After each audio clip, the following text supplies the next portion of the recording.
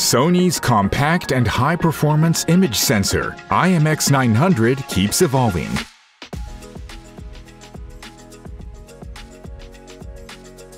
The IMX900 is equipped with features that support optimal capturing.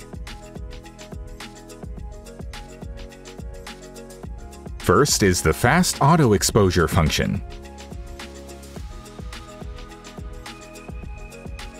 Typical auto exposure requires multiple pre-shooting of all pixels to determine the exposure time, which is unnecessarily time-consuming.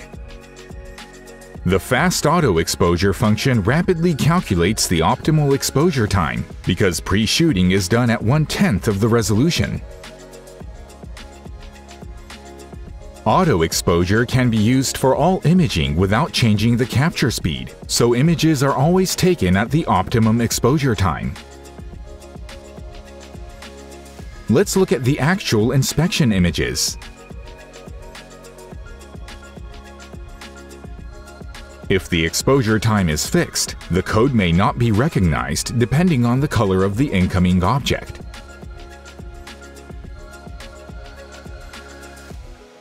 Using the IMX900's Fast Auto Exposure function allows the camera to always capture images with optimal exposure time, even in a stream of objects of various colors.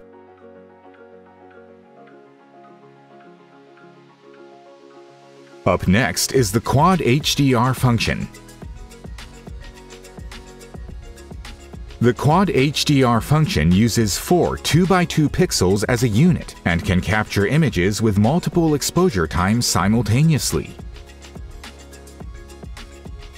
Combining images from different exposure times makes it possible to capture images with a wide dynamic range. For example, as shown in the figure on the left, it is effective for capturing images of metal parts that are difficult to identify depending on the angle of lighting.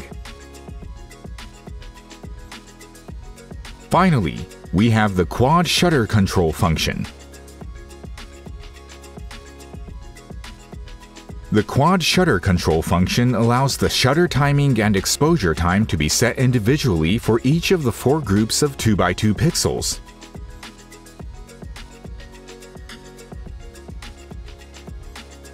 By adjusting the shutter timing for each group, ultra-high-speed imaging of up to 100,000 frames per second can be achieved for these four images only.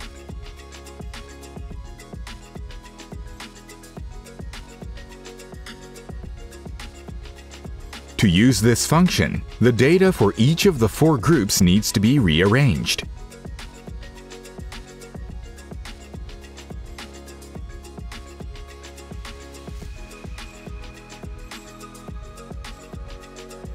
Sony's sensors drive industrial innovation.